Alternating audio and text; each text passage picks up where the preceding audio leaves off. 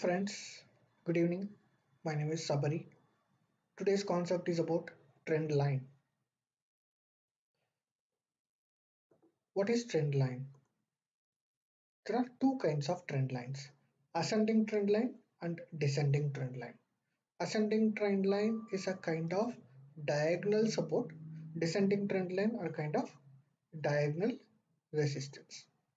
Like we know how to draw or analyze trends, do trend analysis.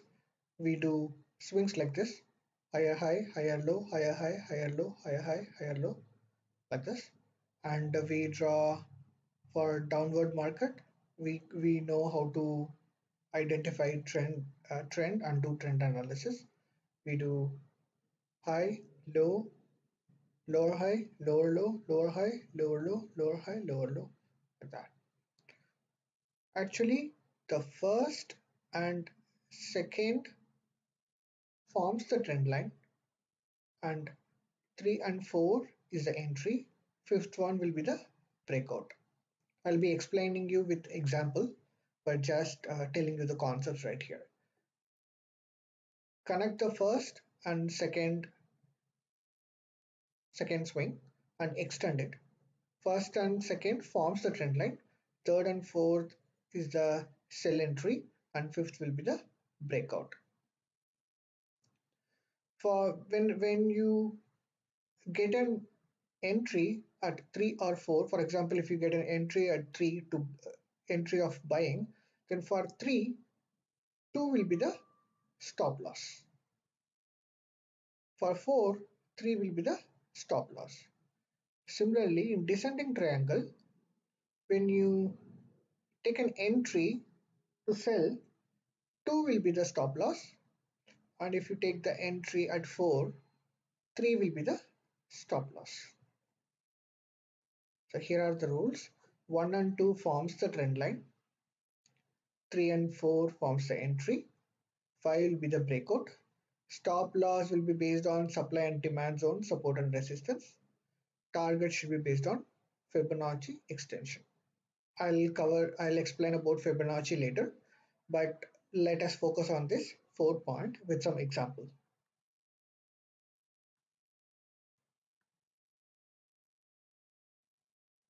First, let us see ascending trend line.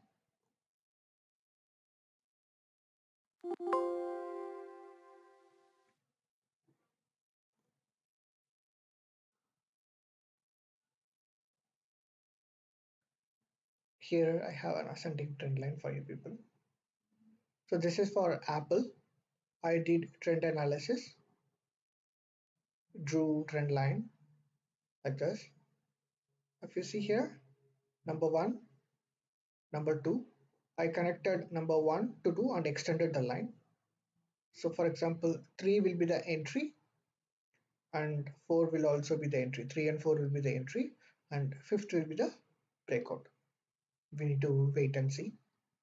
This is ascending trend line. Similarly, I have SPY. Here, I drew the trend analysis. You know how to do the trend analysis. If not, check out my video. Here, number one, and 2 forms the trend line. 3 and 4 sell entry and fifth one will be the breakout. How do you check the breakout? Use trend reversal method and check out the breakout. How to do trend reversal? Again, check my past videos. You know how to check the trend reversal. So for example, when we take the entry at 3, 2, for example, Here, just above this, we can have our sub spot, uh, stop loss. And if we take an entry at 4, we can place a stop loss here. So in summary, just connect number 1, number 2, extend the line.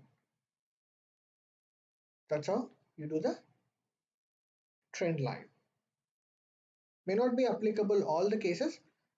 80% of the case the scenario will be the will be like this. It will break out at number 5 but uh, there are cases where the breakout happens at number 4 or it will be a jackpot case may extend the trend the trend it, the trend line may be valid for further swing like six swing seven swing etc the trend line is something like we have expiry for food items right?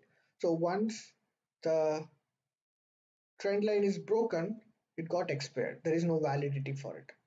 Till it is valid we make use of the trend line and make profit out of it. That's it for today friends. Good evening. Bye bye